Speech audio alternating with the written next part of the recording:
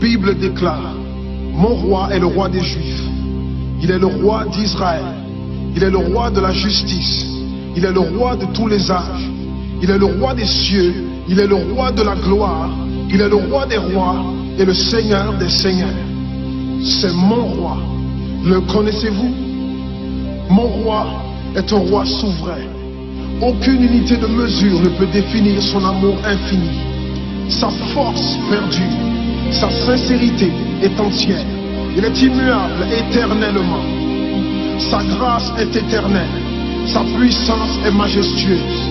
Sa miséricorde est impartiale. Le connaissez-vous? Le plus grand phénomène n'ayant jamais franchi l'horizon de ce monde. Il est le Fils de Dieu. Il est le sauveur du pécheur. Il est la pièce maîtresse de la civilisation. Il est incomparable. Il est sans précédent.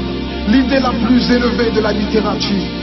La personnalité dominante en philosophie. La doctrine fondamentale réelle de la théologie. Il est l'unique désigné à être le sauveur absolu. Je me demande si vous le connaissez aujourd'hui. Il procure la force aux faibles. Il est disponible pour le tenter et l'éprouver. Il sympathise et il sauve. Il fortifie et soutient. Il sécurise et il guide. Il guérit le malade. Il purifie le lépreux. Il pardonne le pécheur. Il acquitte le débiteur. Il délivre le captif. Le défenseur du faible. Il bénit la jeunesse. Il met au service du malheureux. Il considère l'âgé.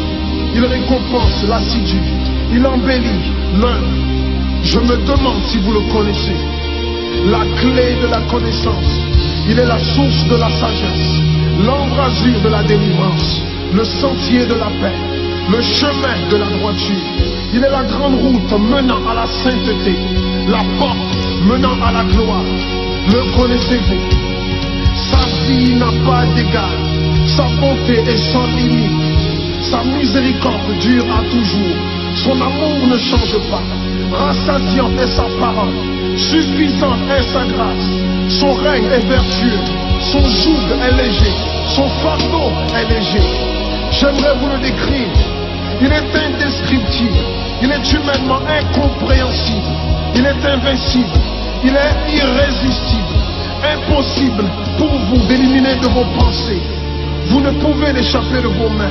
Vous ne pouvez survivre sans lui, vivre sans lui. Les pharisiens ne pouvaient le supporter. Sans contrefaçon, ils ne pouvaient pas l'arrêter. Pilate n'a pas trouvé aucune faute en lui.